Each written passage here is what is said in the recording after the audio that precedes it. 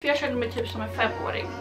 Alltså, regal, regal, regal. Eh, varför var hon köpt leksaksbilar till mig? Alltså jag dog när jag såg de här. Hej på er och välkommen till en ny video. Äntligen kommer en ny video. Nu var det typ två, tre veckor sedan jag laddade upp en video. Och jag vet att eh, det har hänt några gånger att jag har försvunnit i typ en månad, två månader. För att jag har, eh, jag har ju lite problem med mitt psykiska mående. Men den här gången så har det faktiskt ingenting med mitt psykiska mående att göra. Det är bara så att efter de här adventsvideorna så behövde jag en paus. Och så var det julhelg och det var nyårsafton och allt sånt där. Och min mamma eh, har varit ledig från jobbet. Och då har jag ju velat passa på att göra saker med henne. Och eh, ja men jag tror ni förstår vad jag menar. Jag har helt enkelt bara inte haft lust eller tid till att eh, göra någon video. Men nu är jag äntligen tillbaks. Den här videon är lite sen kanske men jag tänkte att jag skulle visa mina julklappar i den här videon. Men vi kör igång helt enkelt. Så vi kan väl börja med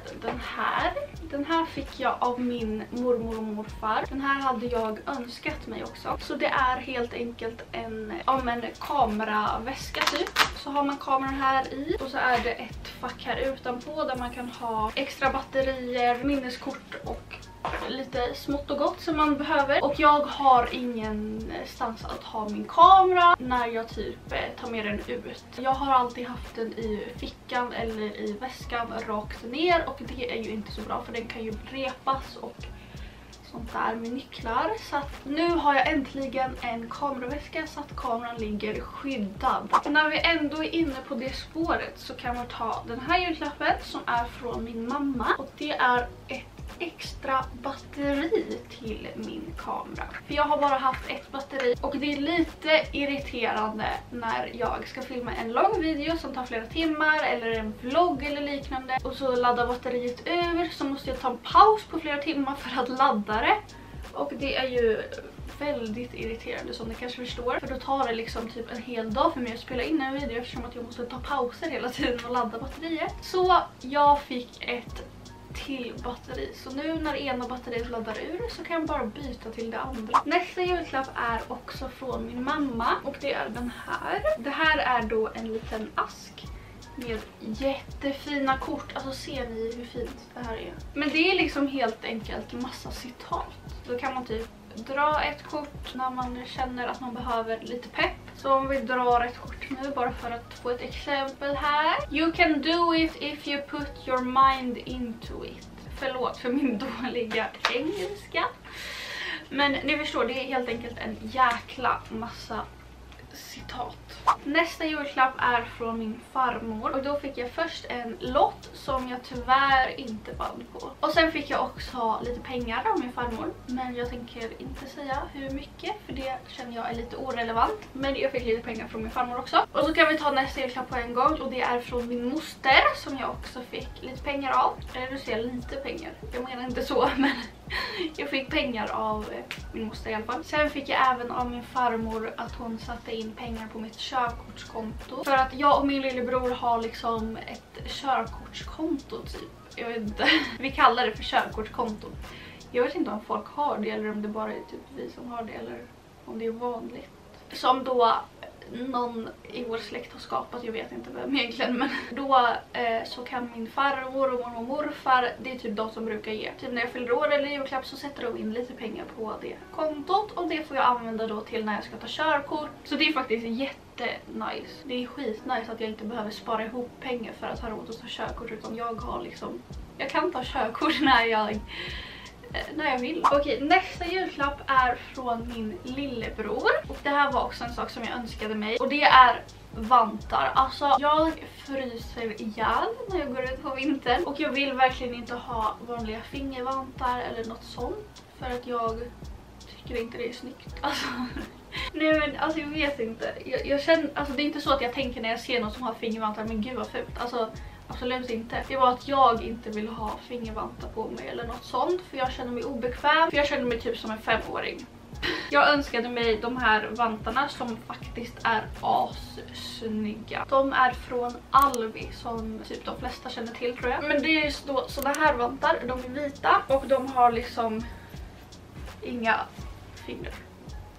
Men de är skitsnygga i alla fall och jättesköna och de värmer verkligen. De är ju lite smutsiga då här nu som ni ser för jag har använt dem. Och jag har ett antal gånger råkat smutsa ner dem när jag har öppnat bildörren och det har varit smutsigt så Ja. Men de här är i alla fall skit nice så jag ska typ köpa i fler färger till nästa vinter. För de har ju jättemånga olika färger men de är ju typ slut hela tiden på hemsidan. Så man får liksom passa på när de finns inne så får man passa på att köpa. Okej nästa julklapp är också från min mamma och det är en klocka. Alltså...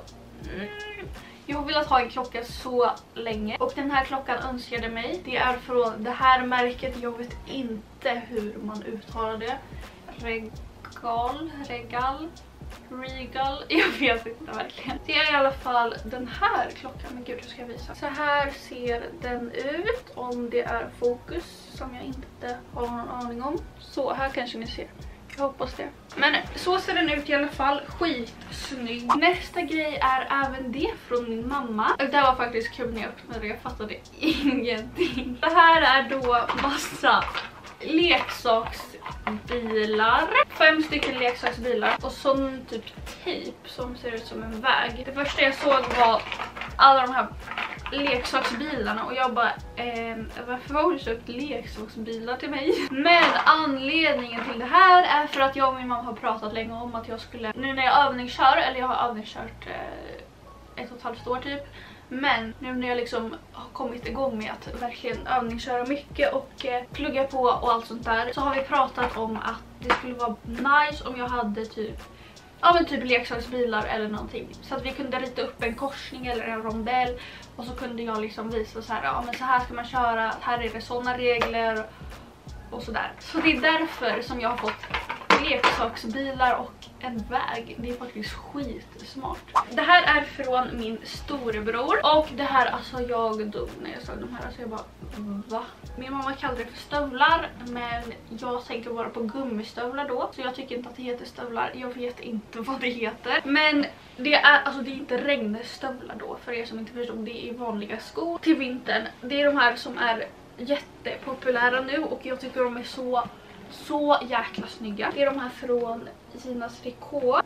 Skit jäkla snygga. Och jag önskade mig dem men jag trodde verkligen inte att jag skulle få dem. Ett, för att de är ganska dyra. Eller okej, de kanske inte är dyra, jag vet inte riktigt.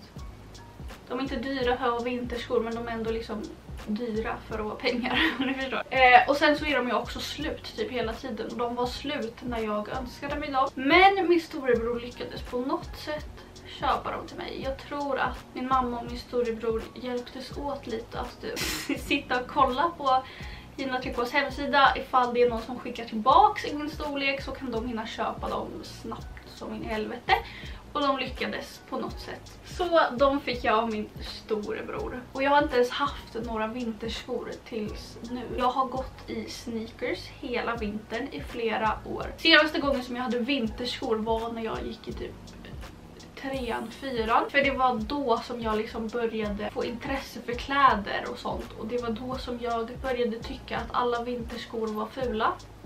Så jag har aldrig hittat några vinterskor som har varit fina på flera år Så därför har jag gått i sneakers på vintern Så jag har frusit ihjäl Men nu har jag hittat några som är snygga Så nu kommer jag inte frysa längre Okej, den sista julklappen nu då Det är också från min mamma Och det är en så jäkla nice kofta. Jag önskade mig den här också då. Den här är från Chiquel. En helt vanlig svart kofta. För jag har faktiskt inte jag tror inte att jag har någon svart kofta sen innan. Jag har en svart kofta men den använder jag inte för den är typ eh, sju år gammal och den är typ sönder. Men nu har jag fått en svart kofta. Jag vet att jag sa precis att det var en vanlig kofta men det är inte en vanlig kofta. Den är verkligen luddig, typ hårig. Jag vet inte om ni kan se, det är så svårt att visa på kameran men den är verkligen så här helt luddig och mjuk och skön och len. Jag vill typ sova i den. Så det här är min favoritkofta just nu. Och jag vågar typ inte ens tvätta den. För tänk om det luddiga och mjuka försvinner. Eller om det blir typ inte lika skönt längre. För ni vet ibland när man har något så här jätteskönt plagg och så tvättar man det så blir det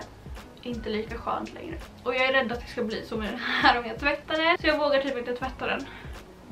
Men snart kommer jag nog behöva tvätta den. Okej, men hörni, det här var alla mina julklappar. Jag är verkligen så nöjd med alla mina julklappar. Innan jag avslutar den här videon ska jag bara säga att eh, det här schemat som jag hade innan med videosarna. Att jag la upp en adventsvideo varje söndag och så en vanlig video varje onsdag. Jag har gått ut på min Instagram och skrivit det här men jag har inte sagt det här på Youtube. Så jag tänker att det är bäst att jag säger det här också så att ni vet. Jag ska helt enkelt sluta med det här schemat som jag hade för det blev typ för mycket och det blev som en press på mig att jag skulle att jag behövde filma och jag behövde redigera istället för att vara någonting som jag tycker är kul. Eller jag tycker det fortfarande var kul men, men istället för att göra en video när jag ville och när jag kände inspiration och så vidare så var jag liksom tvungen att idag måste jag spela in en video, idag måste jag redigera och ladda upp. Så det blev helt enkelt inte så bra. Så därför ska jag sluta med schemat och kommer lägga upp lite när jag känner för det helt enkelt. Men jag ska fortfarande såklart försöka ladda upp ofta så ni får inte glömma att prenumerera nu så att ni inte missar mina kommande videor. Och så får ni jättegärna trycka på tummen upp om ni tyckte om den här videon. Och så får ni ha det så himla bra tills vi hörs i min nästa video.